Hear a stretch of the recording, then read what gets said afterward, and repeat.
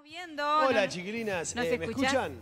Me encanta, me encanta que me, me encanta que me estén viendo, chiquilinas. Sí, escuchá, 90 años cumple el Sodre. En este momento, mira, si ves para allá, están, están por entrar, está por empezar el conjunto de música de cámara, una suerte de concierto didáctico. Mira, mira, Pedro hasta apenas.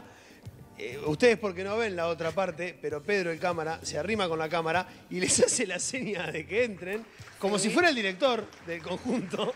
Aplausos. Y le hicieron caso encanta. y entraron, como estarán viendo. Impresionante. Pedro, nuestro Ah. cámara, es eh, el director del conjunto de cámara del Sodre. Increíble. Daro, esto, esto es, una, esto es un- una actividad Sí. que está, es una actividad que está todo el día de hoy, durante todo el día. Hay, hay diversos espectáculos con las diversas orquestas y grupos del Sodre, porque el que cumple años es el Sodre, no el auditorio, obviamente, ¿no?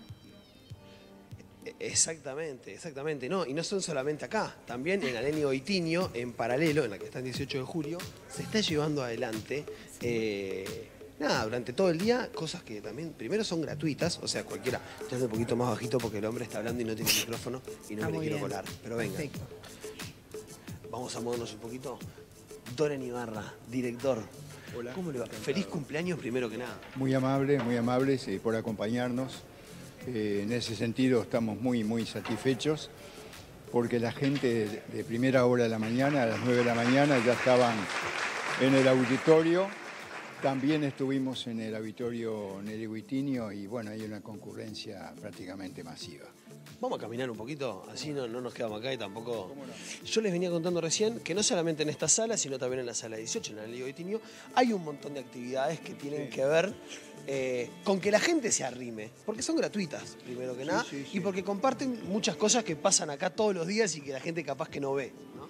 Efectivamente, eh, es en forma absolutamente gratuita y, y están pasando todos los cuerpos estables del Sodre, desde el ballet, la Sodre, eh, música de cámara, como estamos viendo, la Orquesta Juvenil del Sodre, los coro- el coro de niños, el coro juvenil, el coro de adultos, bueno, eh, todo todos los conjuntos para interpretar y para que la gente goce, ¿verdad?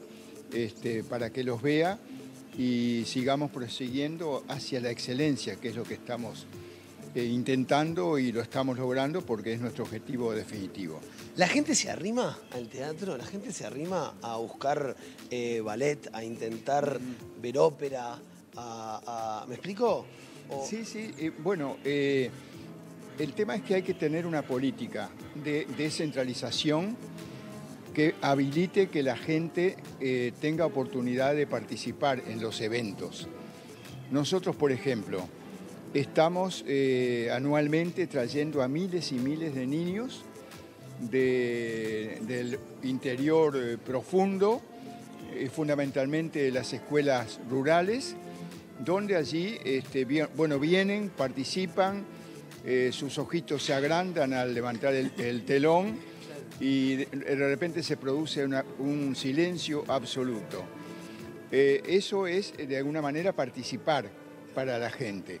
Eso significa también dar oportunidad a que se tenga conocimiento desde pequeño que hay una cultura distinta y que hay que beberla, hay que tener la oportunidad de realmente eh, apreciarla, ¿verdad? En pocas palabras, aprender a ver también, Aprender ¿no? a ver, sí.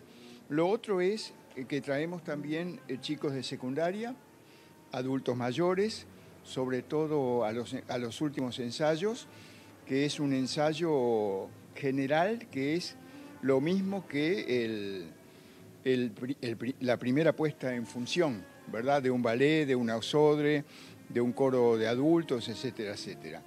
Así que en ese sentido estamos trabajando bien con el apoyo incondicional de los trabajadores, de los funcionarios, de los directores de los cuerpos estables y fundamentalmente de los artistas, ¿verdad? Que se prestan eh, con absoluta amplitud a participar. Yo quiero, vení, podemos arrimarnos un segundito, vengo con el director. O sea, eh, acá muchas de las cosas que van a pasar adentro, ¿verdad? Sí, sí. Son con invitación. O sea, vos tenés que venir y pedir. Es gratis, pero vos Claro. tenés que venir y pedir que te den una invitación. Voy a preguntarle si vino mucha gente. ¿Le ¿Cómo parece? no? ¿Cómo no? Hola, chiquilinas. Buenas tardes. Hablo medio bajito porque viste que están tocando, pero vino mucha gente, se arrimaron a levantar entradas, a, a preguntar, a consultar, más que otros días, me imagino. Sí, sí, mucha gente vino por entradas, por invitaciones y bueno, todos se llevaron. Ya no quedan más. Impresionante, ¿en serio está agotado? Está agotado, agotado. Igual pueden venir, que si queda algún lugar vacío pueden ingresar. Chiquilinas, si tienen alguna pregunta para Ibarra, Sí, estoy acá yo con él, tengo. eh, Yo tengo, yo tengo una ¿eh? pregunta doble, porque nos enteramos que Julio Boca eh, podría volver como docente a, al, a- al- al cuerpo de baile del Sodre y que además hay un nuevo cargo que ocupa Mariano El Richetto. Entonces quería preguntarle por estas dos grandes figuras eh, y eh, su relación Le con el ballet vale del por las Sodre. dos. Bien. Vale Tanco, que ella siempre tiene mucha información, Sí. eh, dice que por un lado te- había oco, corría alguna información de que Julio Boca podía volver a, a- a esta institución, capaz que es de un lado docente, pero que podría haber una- un, un reintegro. Julio Boca nunca dejó de estar al lado del Sodre, eh, cada, tan- eh, cada tanto en la medida de que el director Igor Yebra lo entienda conveniente, se llega a un acuerdo, se le contrata por determinado tiempo, por ejemplo, antes de la Bella Durmiente o, antes de Oneguin, etcétera, etcétera. Y para el año que viene creo que va a seguir la misma situación. Julio Boca es eh, un ídolo desde el punto de vista de lo que significa para el Ballet Nacional, lo que significó y sigue significando. Por lo tanto, allí hay un acuerdo total de Consejo Directivo y por supuesto también de, del director Igor Yebra de eh, que siga colaborando, como va a seguir colaborando Mariano Enricheto. Y hacia ahí iba con la segunda, eh, porque lo que ella decía era que se podía crear como una suerte de cargo para ella en particular, o, o una función especial dentro de la institución para del sobre para ella. La semana que vi- eh, pasada dimos la información de que por suerte María Noel Richetto aceptó la designación de coordinadora académica del área ballet de las escuelas de formación artística, que realmente pegó muchísimo en los padres, en los chicos, en los docentes y que... Las inscripciones, me imagino que Bueno, eso va a haber que poner algún límite, ¿no? Eso está todo en manos de María, María Noel. Ya está contratada, ya el Consejo Directivo resolvimos. Eso se va a llevar adelante acá. Sí, sí, aparte. Físicamente, digo. no, físicamente en las escuelas, de en, en Lapido, por Ah, ejemplo. ya, el- las escuelas en el particular. Lapido, ahí está. Y Pero bajo el ala de- del Sodre. Sí, las escuelas son, dependen directamente del SODRE.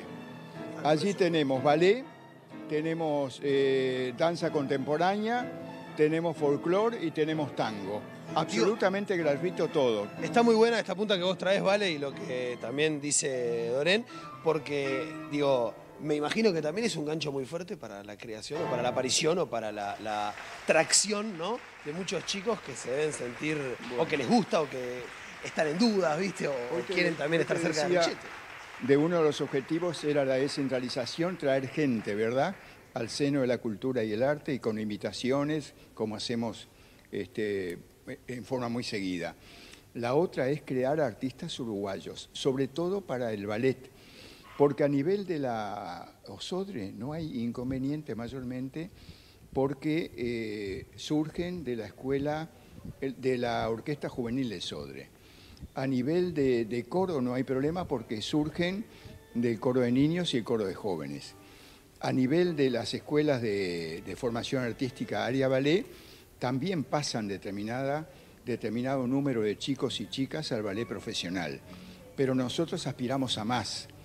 Y María Noel, con su conocimiento, con su capacidad, con su don de gente, con su manera de llegar a los niños y a las niñas y a los jóvenes, va a posibilitar que eso se incremente, que es nuestro objetivo principal.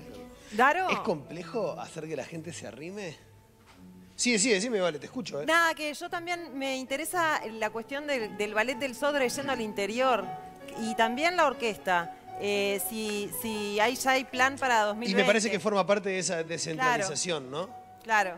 Claro, está bueno, está bueno. Baleta al interior, la orquesta Sí. al interior. eh, está saliendo, ¿no? Hay, hay- hay un Todos los cuerpos estables, todos, grande. todos sin excepción, ¿Qué se plantea para 2020? están saliendo al interior del país. Este, por suerte tenemos trato- eh, teatros remozados que, bueno, los gobiernos departamentales y gobierno nacional eh, invirtieron recursos para que hoy en día los teatros en varias ciudades importantes del país, eh, bueno, se pueda funcionar, pueda ir un ballet, pueda ir la Osodre, pueda ir el coro, etcétera, etcétera. Y esto se hizo este año, se hizo en los años pasados y se va a hacer en el 2020. Una gran salida al interior del país de cada uno de los cuerpos estables sin excepción. Sin ir más lejos, ahora en la última gira del ballet en- al interior del país, eh, la gente estaba enloquecida porque ¿qué, decisión tomó María Noel Richetto?